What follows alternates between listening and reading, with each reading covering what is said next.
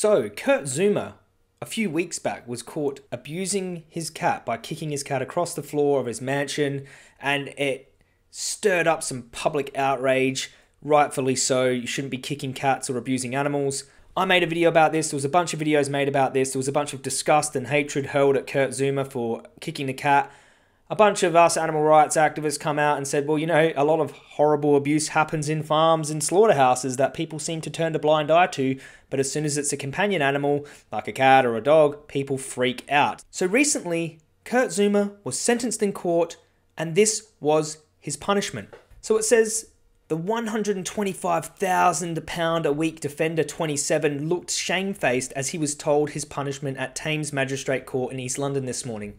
West Ham defender Zouma was pilloried after footage emerged. Let's just look at the definition of pilloried. Pilloried.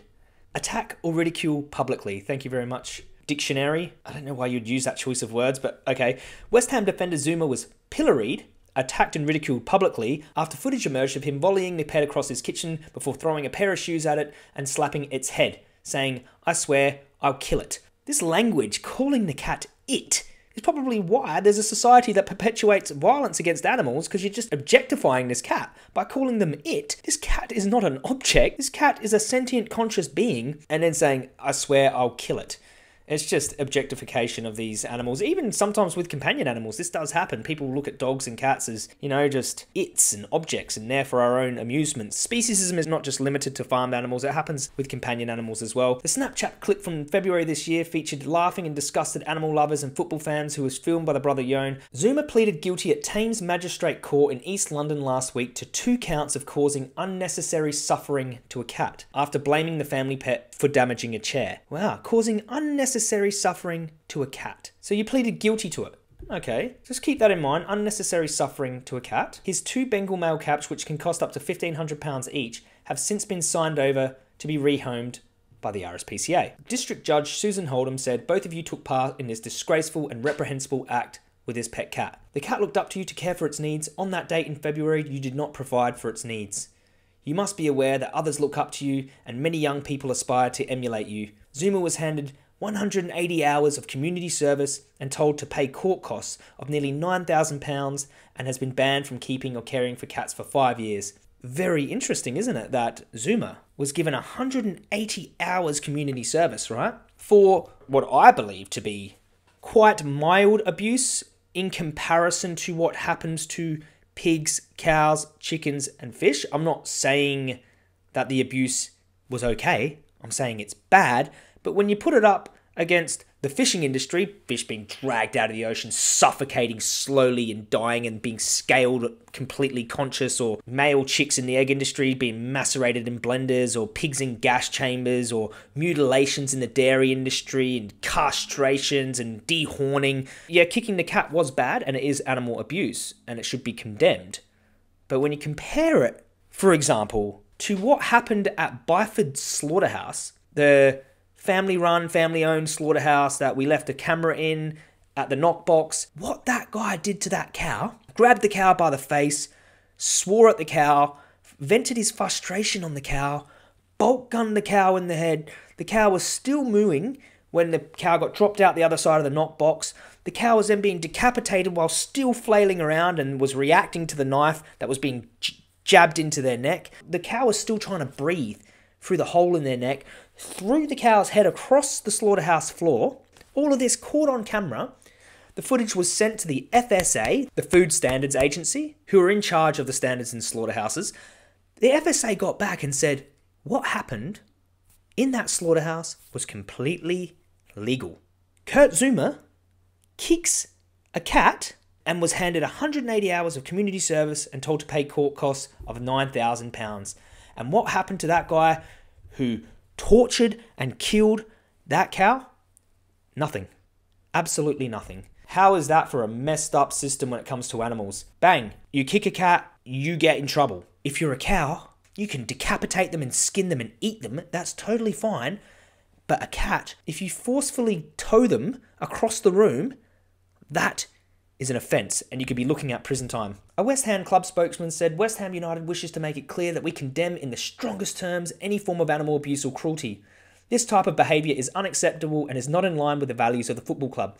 Well, I'd hope the players at West Ham don't wear leather football boots and don't have bacon sandwiches in the cafeteria, and your players and staff don't have bacon and eggs for breakfast, pigs killed in gas chambers and egg layer hens exploited and killed in gas chambers.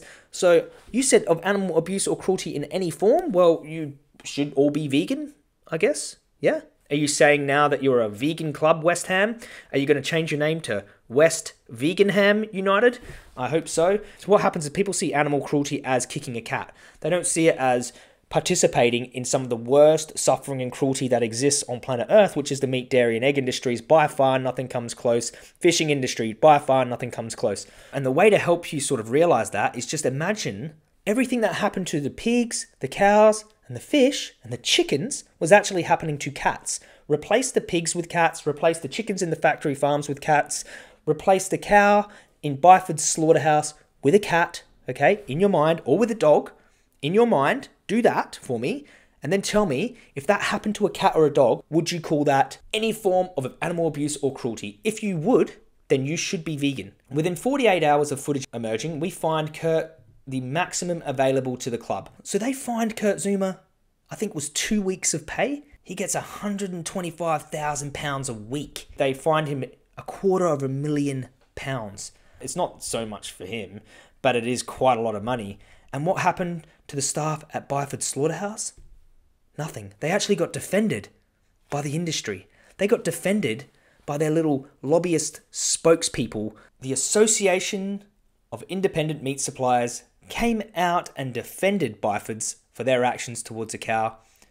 But Kurt Zouma's own football club fined him and condemned him. How is that? How is that for a double standard? It's crazy that if you do even worse things to a farmed animal, it's not considered abuse or cruelty, it's considered completely legal and the food chain. If you do magnitudes of degrees milder cruelty to a cat, you are condemned.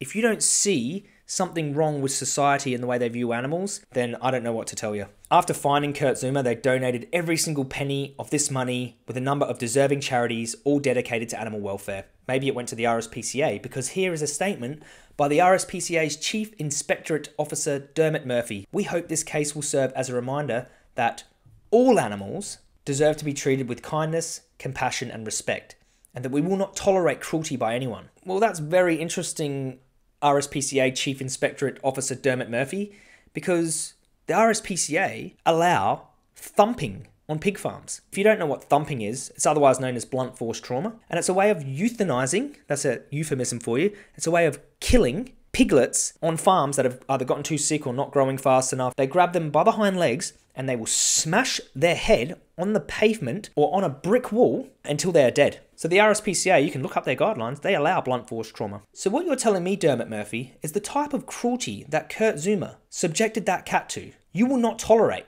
But the RSPCA are happy to tolerate the thumping of piglets on your pig farms. And you also allow the maceration of male chicks in the egg industry or gas chambers of pigs. And it's scientifically clear that CO2 gas chambers cause immense suffering to pigs. You also have RSPCA assured eggs, and we all know the male chicks are culled, and the spent egg laying hens are put in a gas chamber and eaten. So, what Kurt Zouma did to that cat, the cat will live to fight another day. But all of these animal products that you put your stamp of approval on with these acts of cruelty, that should be tolerated and should be bought, actually, should be paid for by the consumer. So, I don't think the RSPCA should be opening their mouth too soon until they get out of bed with animal agriculture themselves. And finally, it is inherently cruel to rob an animal's life from them. I'm very certain of this.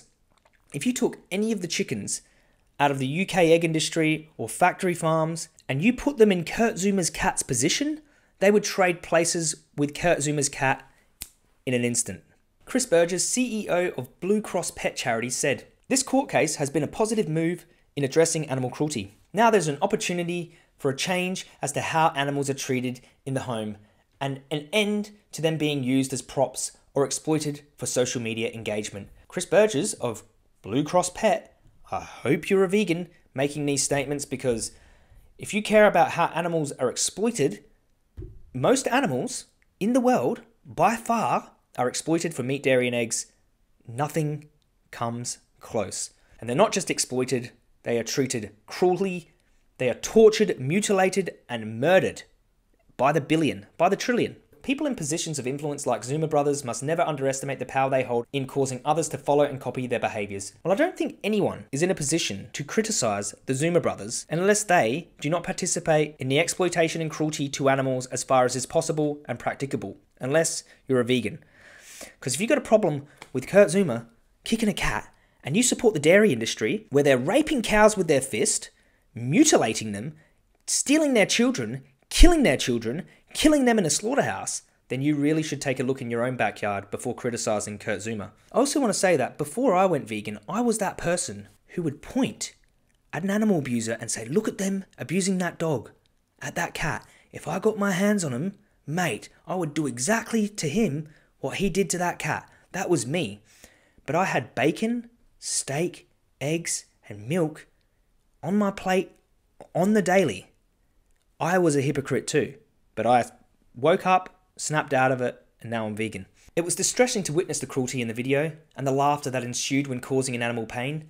It is of real concern to Blue Cross that social media channels are often where individuals look for a guide to how to treat animals. Pets deserve as much respect as any member of the family. So pets deserve respect as any member of the family. But you know, it's okay to have hunting channels where they're shooting deer. You know, it's okay to have fishing channels where they're ripping fish out of the ocean and they're suffering with a hook in their face, slowly suffocating on the, the deck of a boat. It's fine to have all that on social media. But anyone kicking a cat on social media, it's just horrible. Oh my god.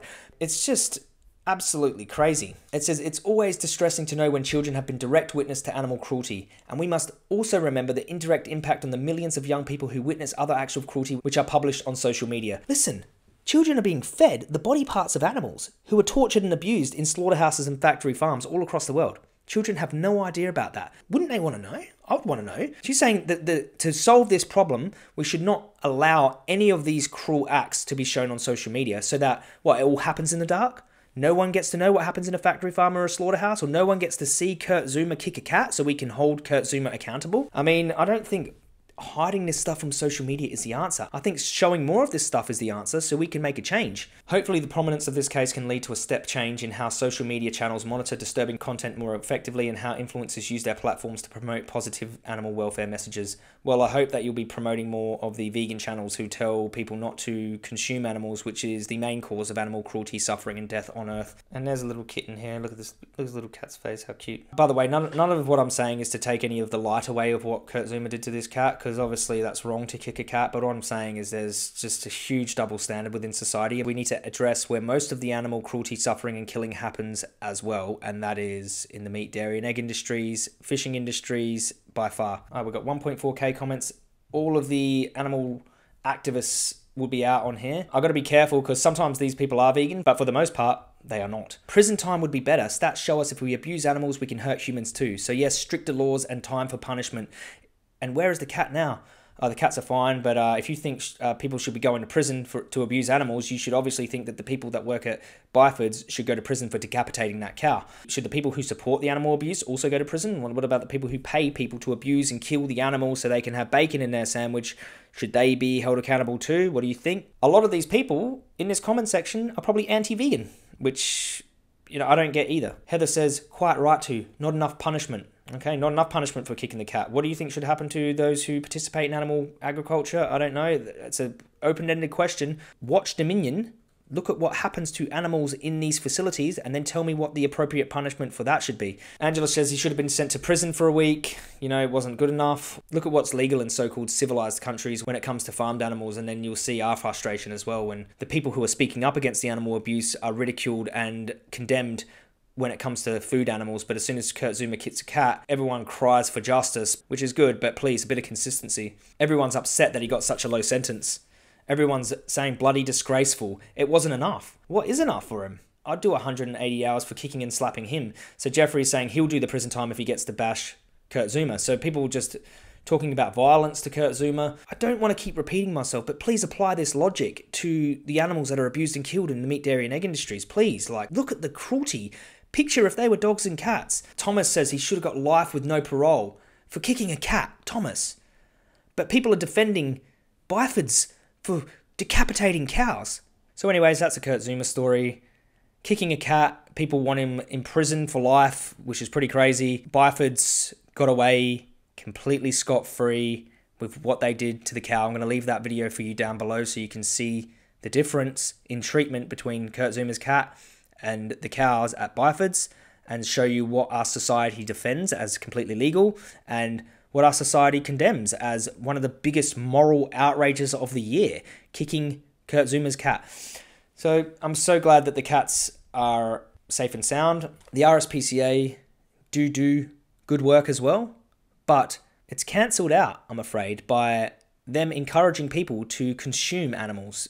You can't do both. Stick to one side. You're either helping animals or you're encouraging the consumption of animals. Which one is it? Please don't be like Kurt Zouma, but be vegan and don't support industries that are doing far worse than what Kurt Zouma ever did.